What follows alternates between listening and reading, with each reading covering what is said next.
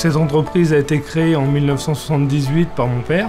Il a été indépendant euh, jusqu'en 82 pour euh, s'allier avec la marque Renault.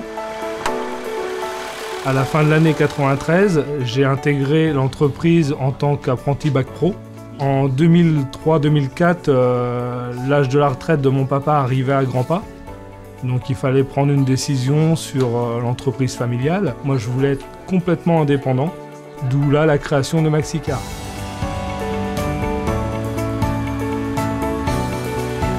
Le publicitaire qui nous a aidé à créer Maxicar a fait transpirer le, côté familial, le côté service, le côté euh, rassurant et le côté euh, rationnel au niveau prix pour la clientèle.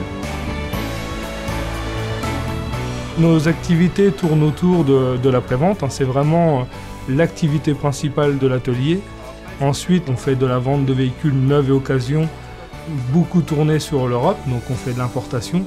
On fait de la location de véhicules, on s'occupe d'emmener les véhicules au contrôle technique pour les clients, on fait la partie lavage. L'entreprise se compose de 5 personnes et un apprenti.